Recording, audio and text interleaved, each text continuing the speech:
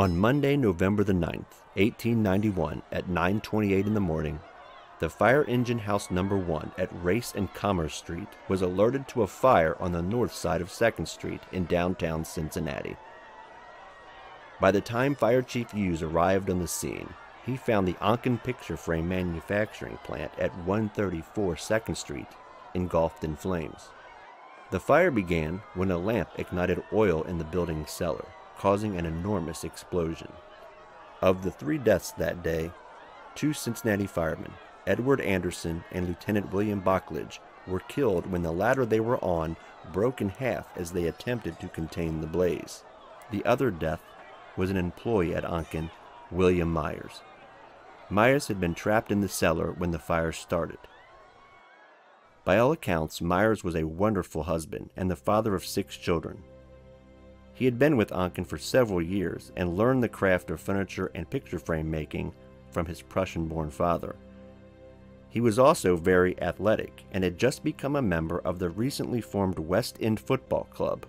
As news of his death spread throughout the city, many charity events were organized to financially assist Mrs. Myers and the children who, unlike the firemen's families, had no insurance to speak of. One of those events was a charity football game to be held at the Cincinnati Reds League Park on Thanksgiving Day, November 26, 1891, at 3 o'clock. The game was organized by Myers' friend James Keenan, who was the president of the West End Football Club. The West Enders would match up against the newly formed Queen City Football Club. More than 500 Cincinnatians attended, including members of several other athletic clubs in the tri state. Over $1,000 was raised for the Myers family, with the West Enders prevailing 5 to nothing. This match game was football in its infancy. Association rules were much different than the football we know today. The college game had only been around for a little over a decade, and there were only a handful of football clubs in the tri state in 1891. With the success of the benefit game, athletic clubs began forming football clubs, and in a few short years there were football teams from Price Hill, Walnut Hills, the Cincinnati Gym Club, and clubs in Covington and Newport on the Kentucky side of the river. These amateur clubs drew fairly well and established a new football fandom in Cincinnati and the surrounding river towns. Their popularity, combined with the rise of high school and college football, helped lay the foundation for professional football in the Queen City.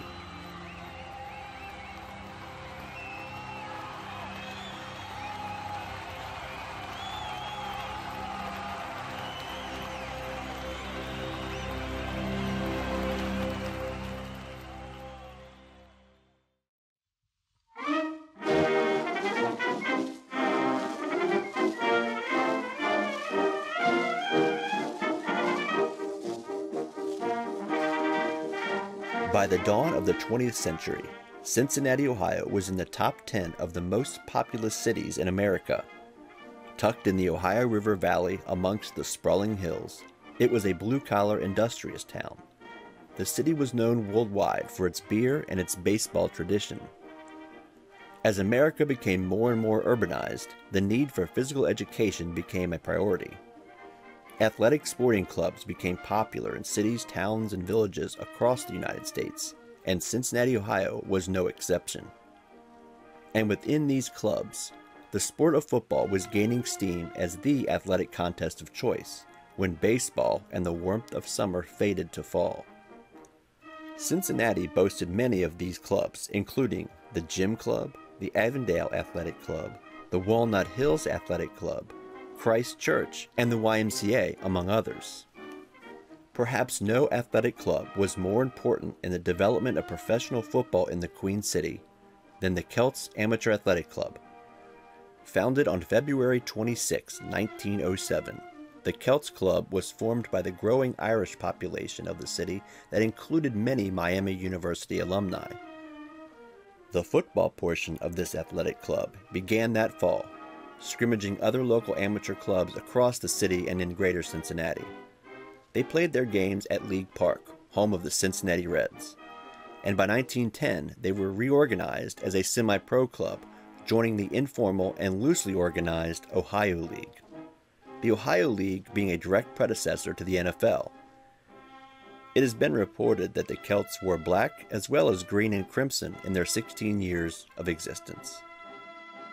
Facing foes from across the state, like Dayton, Columbus, Carthage, and West Carrollton, as well as trips to Indiana to battle teams from Indianapolis, Fort Wayne, and Muncie, the Celts began to build a reputation in the early 1910s as one of the most formidable clubs in the Midwest.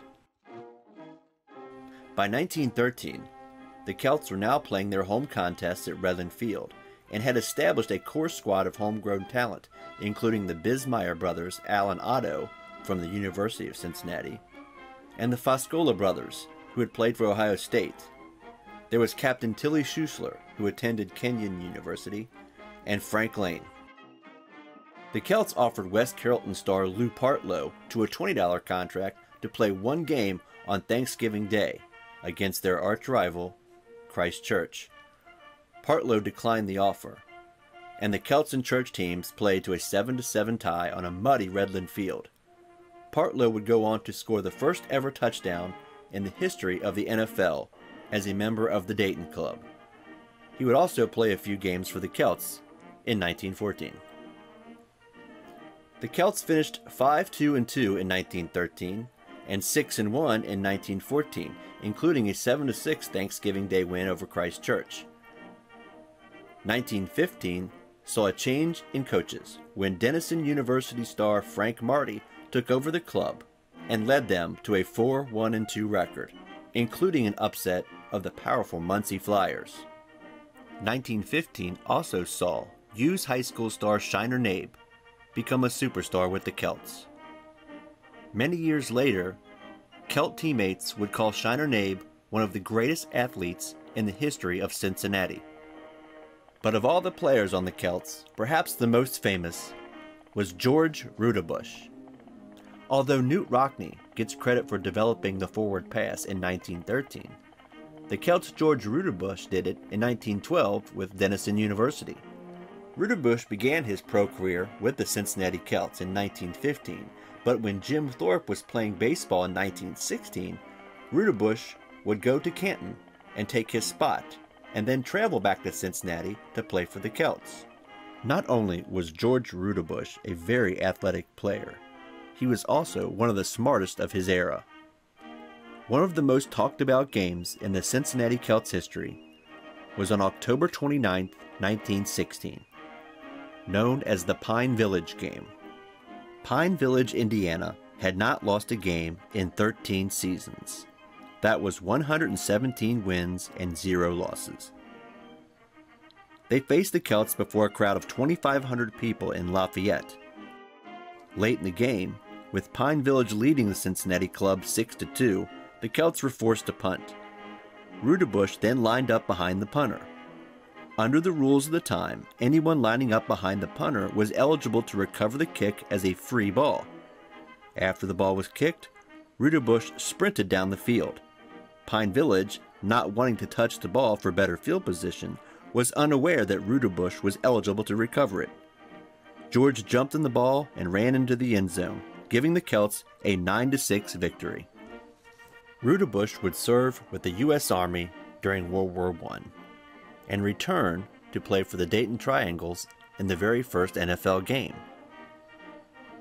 After leaving the game, he spent 73 years as an attorney in Cleveland, Ohio. When George Roudebush was later asked about his Cincinnati Celt playing days, he smiled. Those guys were the best, a bunch of wild Irishmen. The Cincinnati Celts finally made the big time in 1921 when they were asked to represent Cincinnati in the new American Professional Football Association, which would be renamed the NFL in 1922. The Celts management named Mel Dougherty the new center and head coach.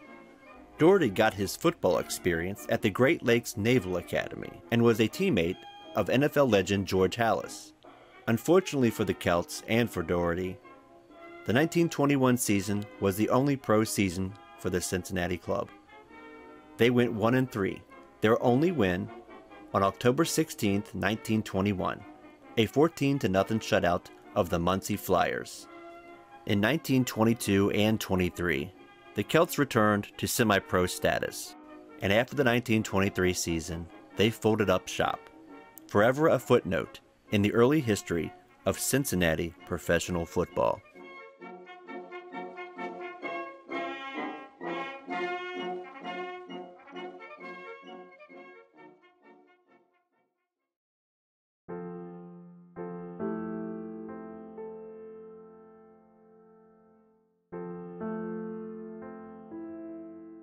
By the early 1930s, the United States was in the midst of the Great Depression. Ohio had an unemployment rate of 37%, not ideal times to start a football franchise. But three men, Bert Bell of Philadelphia, Art Rooney of Pittsburgh, and Dr. M. Scott Kearns of Cincinnati, had just that. On July 8, 1933, they walked out of a Chicago hotel room with an NFL football franchise in their pocket. Dr. Kearns, a Cincinnati Northsider, was the Hamilton County coroner and had served on the commission of the Greater Cincinnati Catholic High School League and was also the team doctor for Xavier University football. Kearns and his partner, William McCoy, the secretary of a Cincinnati investment securities company, recruited the help of the Reds baseball owner, Sid Weil, and secured Redland Field for home games. Of the three new NFL franchises, Cincinnati had the least amount of money to spend, Kearns was not wealthy, barely able to come up with the $10,000 franchise fee that was required for the NFL at that time, and signing top talent was going to be near impossible. But it was his dream to own an NFL team, so the roster for the 1933 season was going to be journeymen and castoffs. He immediately hired Al Rocky Jolley, who was signed on as head coach. Jolley was a well traveled pro football man who had played for Akron, Dayton, Brooklyn, among many other teams. Kearns and Jolley traveled the country carrying with them $100 contracts. On the home front, there was an anticipation that the Reds would sign local Xavier star John Socko Wiethe. But as Wiethe later said, money was the issue. They talked to me about playing for them, but I got a lot more money coaching the freshman football team at Xavier that year. The 1933 NFL season opened up with two divisions, similar to baseball with Boston, Brooklyn, New York, Philadelphia, and Pittsburgh in the East, two Chicago teams, Cincinnati, Green Bay, and Portsmouth in the West. The first game for the new Reds football club took place on a brutally hot day in Portsmouth Universal Stadium. The Reds only crossed midfield once and lost 21 to nothing.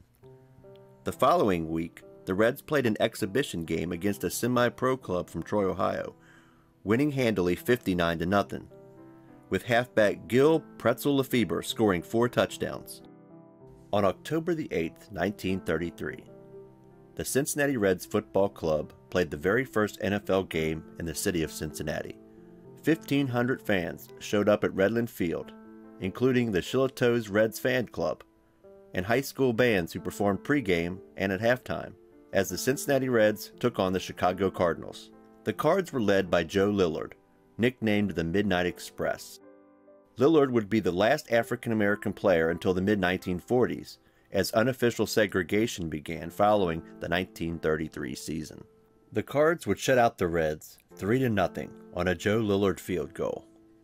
The Reds had a chance late in the fourth quarter when former Purdue star Lewis Pope completed a 20 yard pass all the way to the 35 yard line with only seconds remaining the Reds attempted a long field goal, which sailed wide right. When the Cards took over, Joe Lillard ran a sweep to kill off the clock. Reds guard Les Caywood, who had jawed with Lillard the entire game, threw him to the ground. Lillard jumped up immediately, landing a right hook on the chin of Caywood. A scuffle between the two teams ensued. As the refs separated the pile, the scoreboard read 3 to nothing and the Reds were once again on the short end. The Reds would be on the short end for the next two games, losing 17 3 at Pittsburgh and 27 0 at Ebbets Field in Brooklyn. In their first 6 games, the Reds only scored 3 points. Following a 6 0 loss to the Philadelphia Eagles, the coach Jolley era ended as he was fired and replaced by assistant coach and backup quarterback Mike Palm.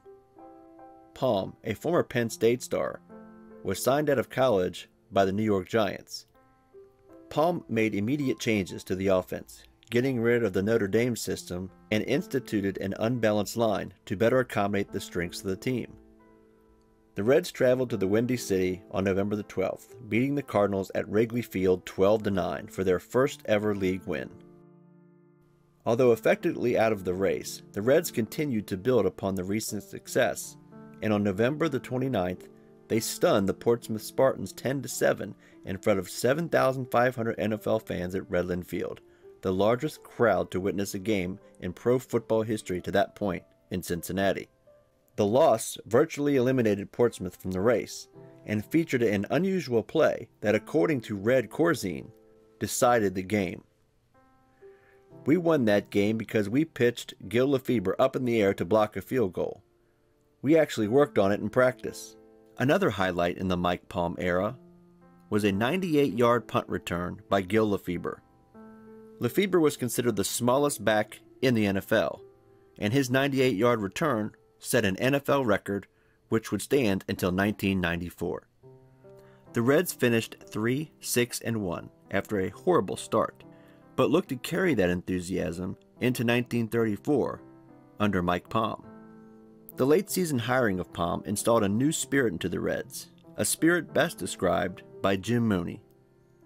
Mooney had been coached by Palm at Georgetown University, and the two had shared a special bond throughout their careers said Mooney after the 1933 season came to a close with a 13 0 win over the Brooklyn Dodgers at an exhibition game in Dayton that benefited charity. I have played a lot of football. You can talk about college spirit and the pros being in the football business just for what they can make of it, if you want. But I never saw a spirit like the boys on this Reds ball club had after Mike Palm took charge of us. He made us willing to die for dear old Reds and we worked so well together that some of the boys were nearly in tears when they left tonight. Going into the 1934 NFL season, hopes were high, but fate had other plans. A five man ownership group bought the Reds from Kearns, who was in very poor health and was moving to Florida. With new owners came a new philosophy, and unfortunately for Palm, a new coach. By August of 1934, as training was set to commence, the Reds made 30 year old backup halfback Algie Clark their player coach.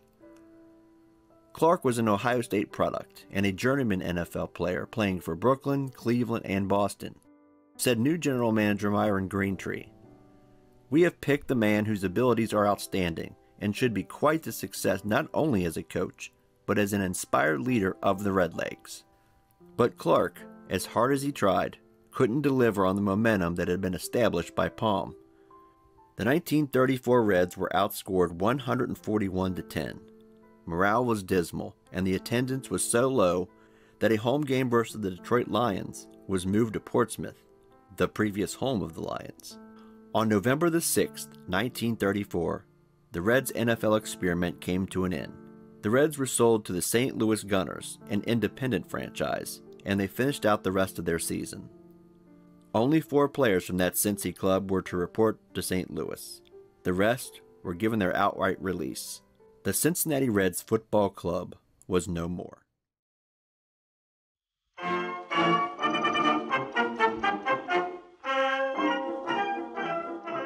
Two years after the Cincinnati Reds Football Club left town, a new minor football league was formed, the Midwest League. It featured teams from Louisville, Indianapolis, Dayton, Columbus, Springfield, and two teams from Cincinnati. The Models, named after a shoe company, and the Tresslers, named after Tressler Oil. The Cincinnati Models were considered the strongest club in not just Cincinnati, but in the entire Midwest. Featuring several future NFLers, including John Socko Wiethe, they were 6 0 in 1936 before losing the championship game to the Louisville Tanks 2 0 on a rain soaked Louisville field. The Tresslers never reached the same success as the Models. They were led by quarterback Harry Rose, the father of baseball great Pete Rose. The Models were formed and coached by former Xavier star athlete Hal Pennington. His Models Club drew well in the Midwest Football League and even persuaded the independent Chicago Gunners to play a game at Northside Park, a game the Models won 20 to 7. As 1937 dawned, Pennington was presented an intriguing offer. A group of Cincinnati businessmen formed the Queen City Athletics Incorporated Club in hopes of landing a pro football franchise in the AFL. The group asked Pennington to formulate a plan and a pitch and on April the 18th, 1937, Pennington walked out of the AFL offices in New York City as the president, general manager, and head coach of the Cincinnati Football Club of the AFL. He was 24 years old. Pennington wasted no time in organizing his club and signed Bob Wilkie out of Notre Dame. The following week, he obtained the services of Don Geyer, star of Northwestern, a call was sent out to all talent across the Cincinnati area to appear at tryouts on August the 22nd at 9:30 a.m. sharp at the field on the grounds of the Tacoma Amusement Park on the riverbanks of Dayton, Kentucky. As training camp went into its second week, Pennington persuaded Ohio State legend Tippy Dye to sign. Not long after, Pennington was having a cup of coffee with his mother at her house. He noticed something intriguing on the stove in his mother's kitchen. The Bengal Tiger logo of the Floyd and Wells Stove Company out of Pennsylvania spoke to him. He walked out of that kitchen with the nickname of his new AFL team, the Cincinnati Bengals. With Crosley Field as their home, the Cincinnati Bengals finished 2 4 and 2 in 1937, only good enough for fourth place in the AFL. After the season, Pennington had hoped to continue to grow the Bengals franchise. But the league folded, leaving the Bengals to function as a professional independent team for 1938. He decided to hand the reins over to his friend Dana King. Meanwhile, the Midwest League, home to the Cincinnati Models, changed their league name to the AFL, and the Models became the Cincinnati Blades, with Hal Pennington returning to his former club. Unfortunately, the club couldn't compete at the gate and disbanded in October. The 1938 Bengals, however, were good, very good. With most of the 1937 roster gone, the 38 squad featured Pat Hallett and Alton Owen, as well as John Cruz. Ten of the 32 man roster were from Xavier, including John Socko Wiethe. The club secured the rights to use Xavier's Corcoran Field and packed them in the team finished 7 2 and 1. In 1939, the Bengals rejoined a new AFL and finished in second place behind the LA Bulldogs with a 6 2 record. 1940, though, saw the Bengals completely collapse, and they finished a league worst 1 7. Hal Pennington was lured to return to pro football as general manager of the Bengals in 1941 but the club went 1 and 5 in their rebuilding year.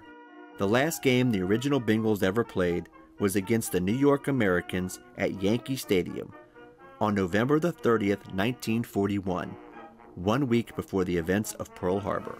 The AFL planned to return in 1942, and the Bengals went about the business of rebuilding their club, scouring the nation for top talent and negotiating for the use of Crosley Field. As the season was set to begin, the AFL decided to suspend operations due to the war, with the promise to the league teams that they would resume at an appropriate time. It was a promise never kept, as the league never resumed and the teams faded into obscurity. In the 1950s, Reds general manager Gabe Paul contacted Hal Pennington about putting together a group in the hopes of bringing pro football back to the Queen City. But the talks went nowhere. Cincinnati would have to wait 27 years for Paul Brown to head south from Cleveland and form the Cincinnati Bengals. At a press conference in 1967 with Hal Pennington in attendance, Paul Brown said this If we can pick up a thread of tradition, we think it's good. We feel at home with the name Bengals.